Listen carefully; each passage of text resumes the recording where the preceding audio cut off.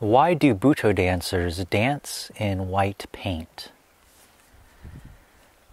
So, if you do a search for Butoh on YouTube, you might notice that a lot of videos have people dancing and they're in this um, white body paint and oftentimes with almost um, no clothing.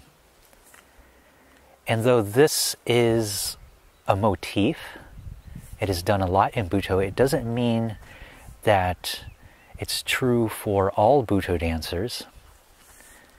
Some Butoh dancers like to wear colors, some like to use other things like mud, and some may even like to use nothing and just um, have maybe less clothes on and, and show their actual skin. The first time that Butoh actually used white was not in the first performance, but in the 1961 performance of Mid-Afternoon Secret Ceremony of a Hermaphrodite. The group of dancers were made to wear plaster. When they moved, it was painful for the body and it created a contortion in the body.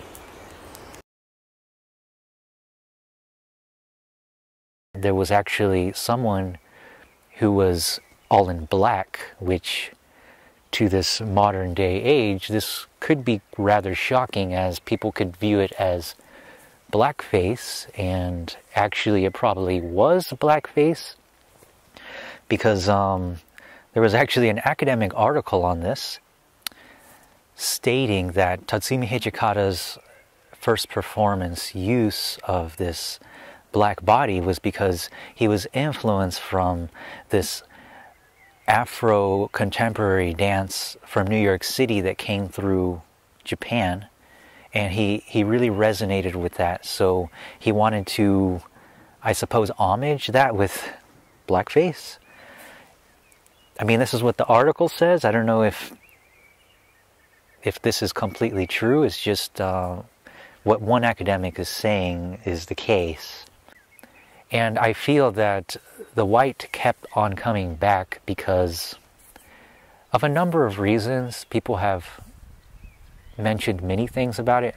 White tends to accentuate the body in, in movements, and if you have no clothes on, or just something skimpy, maybe maybe a underwear or the Japanese Japanese version of the underwear, um, you can see all the details of the body, and if with the white, it it presents the body in a very, very nice way. And also in Japan, with Noh theater and kabuki, they have this tradition with the white. So subconsciously, this could have drawn in Tatsumi Hijikata to paint his body with the plaster. And with the themes of white in more than one culture being that of otherworldly or ghost, it makes sense actually that this would be a common color for Butoh. But again, you can use any color. Back at the Himalaya Subbody School, there were all the different colors, but mud and different colors of clay are also very nice on the skin. So not all Butoh has to be white.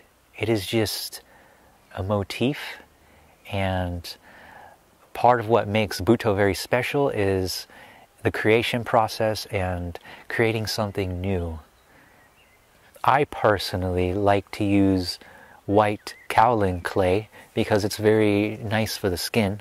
So you not only have a nice, you know, the white look, but it's it's uh, very healthy for you. But yes, the body paint isn't 100% essential.